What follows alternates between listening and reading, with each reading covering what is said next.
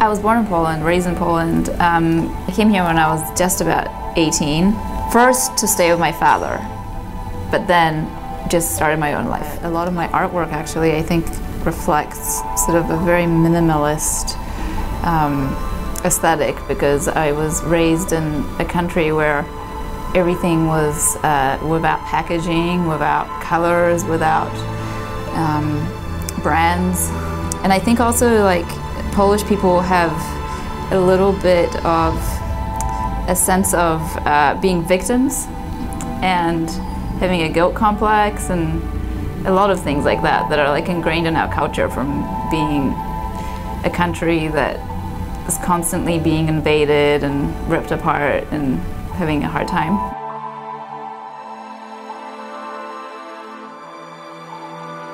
All my um, artworks have always been somewhat autobiographical, right? Like something that I want to share with the world that I feel that we can all connect about and, and identify with. And Ziemia uh, is a group portrait of a community made up of immigrants. And I wanted everybody to think of places uh, that they lived in or had memories from or nostalgic connections to where um, they could give me a cup of soil from this place that represented them metaphorically.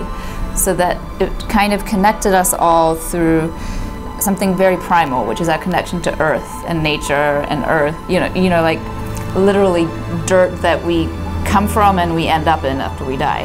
I created um, an orb that is uh, made out of clay that I also dug up in Greenpoint on Clay Street. And then the glaze is uh, a mixture of everyone's soil put on the outside, all the different colored soils.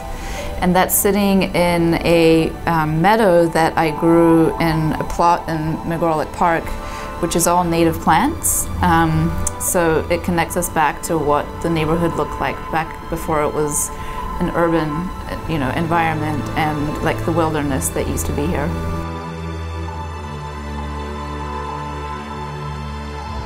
Start with the idea and what you want to communicate and why is this important to you and to communicate to others. That is what you start with. Then later figure out how to communicate it.